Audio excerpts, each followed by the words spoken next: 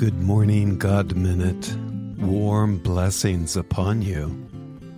Today, it's a special day because it is the feast of St. Louise de Marillac, the co founder, along with St. Vincent de Paul, of the Daughters of Charity, two of whom we have on our team here at the God Minute, as you know Sister Kara and Sister Carol.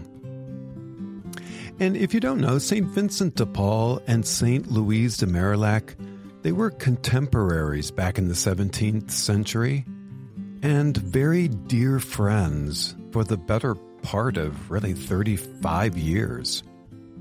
Their love and admiration for one another was such an essential dimension of their own success and amazing work in improving the lives of all those who suffered from poverty or rejection.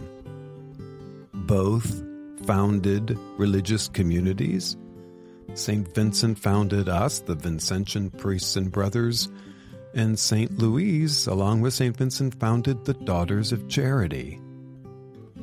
They were, I, I think, what you would call today soulmates. And they died only six months apart in 1660. Hmm, quite amazing. So it is with her, St. Louise, that we have in mind in our hearts today as we begin our prayer this beautiful day. In the name of the Father, and of the Son, and of the Holy Spirit. Amen. O Lord, open my lips, and my mouth shall declare your praise. Psalm 62 Waiting for God.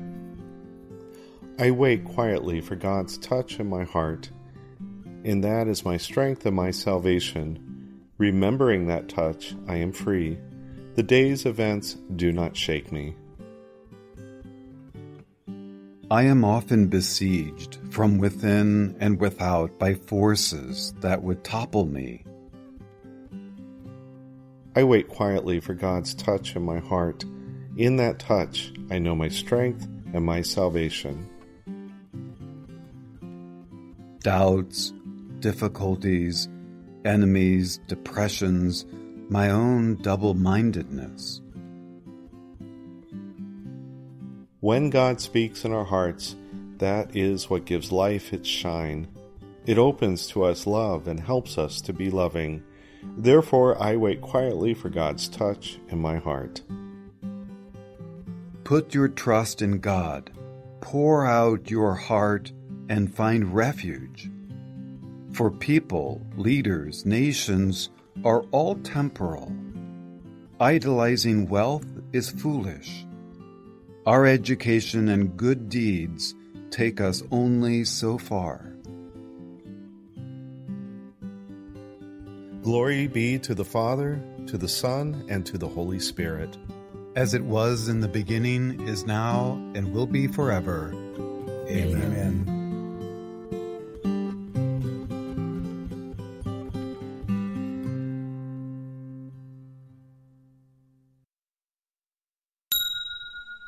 So, for our reflection today, something just a little bit different.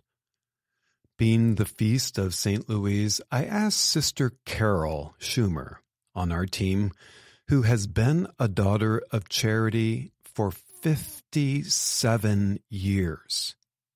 Wow, that's longer than I've been alive. okay, that's a lie. But anyway, I asked uh, Sister Carol, what continues to inspire you about St. Louise today.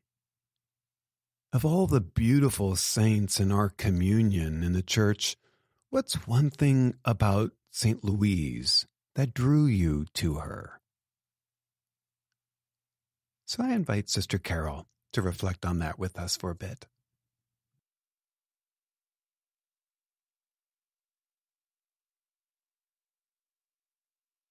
Something a bit different for our reflection today on the Feast of St. Louise.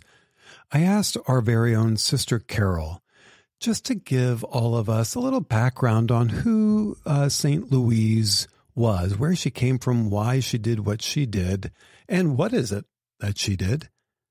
And then to end just by offering what is one thing that touches her life, Sister Carol's life today, about St. Louise that brings joy and challenge. So I thank her for saying yes to that. And Sister Carol, I invite you up. Happy Feast of St. Louise de Marillac. Currently, the virtues that continue to touch me, that I admire most in Louise, are her patience and her tenacity. Let me explain. First, some background. This year, we celebrate the 400th anniversary of Louise's Lumiere, her light of Pentecost. She struggled exceedingly for many years about her life choices. Initially, she felt called to the cloister. However, she was refused entry due to her health. So in 1613, her family convinced her to marry. Her husband was chronically ill, and 10 years later, seriously so. Louise lovingly cared for him, yet always wondered if being a wife was her true vocation. She suffered for years with this internal doubt and prayed for resolution, which she finally received during an inner experience of divine communication with God.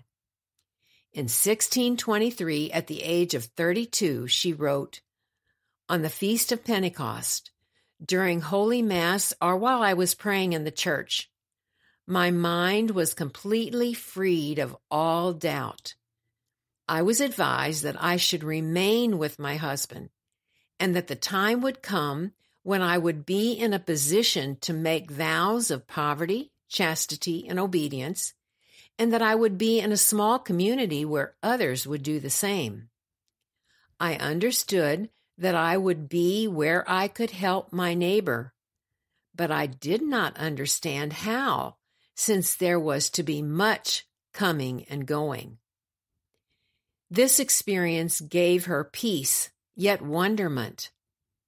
However, even after meeting St. Vincent de Paul two years later, she was stymied as he delayed and delayed and delayed her request to gather girls to form what became the Daughters of Charity.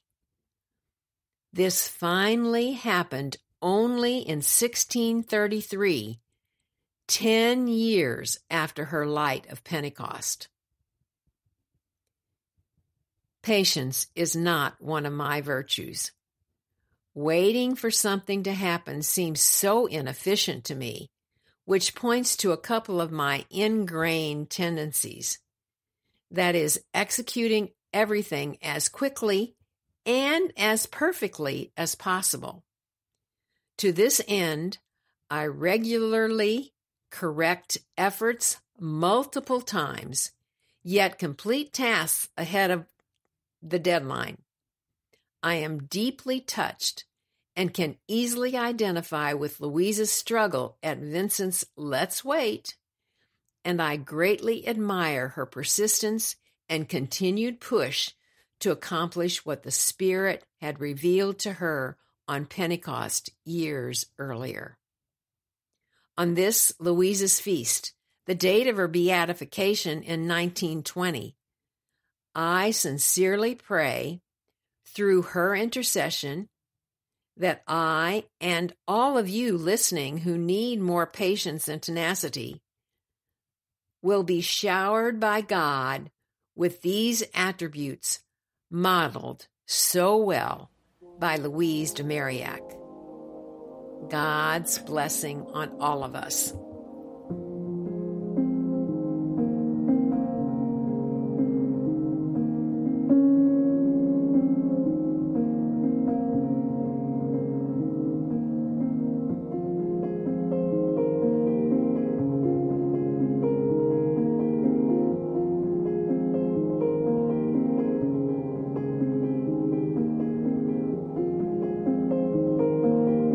And let us pray. Our Father, who art in heaven, hallowed be thy name. Thy kingdom come, thy will be done, on earth as it is in heaven. Give us this day our daily bread, and forgive us our trespasses, as we forgive those who trespass against us. And lead us not into temptation, but deliver us from evil. Amen. Gracious God, source and goal of all love, may we follow the example of St. Louise, those virtues of tenacity and patience, so that by practicing your love on earth, we may obtain the kingdom promised to believers. We ask through Christ our Lord. Amen. A quick thank you to all of you who filled out the recent survey we sent. Really, really helpful information as we kind of look forward and plan. So thank you for the time in doing that. And uh, and Sister Carol, of course, thank you. Thank you not only for your reflection, but for 57 years and all of the many people you've touched in your life. My gosh. Praise be to God. and praise be to all of you for joining us today. May God's blessing wrap you and hold you in the name of the Father, Son, and Holy Spirit. Amen. We'll see you tomorrow.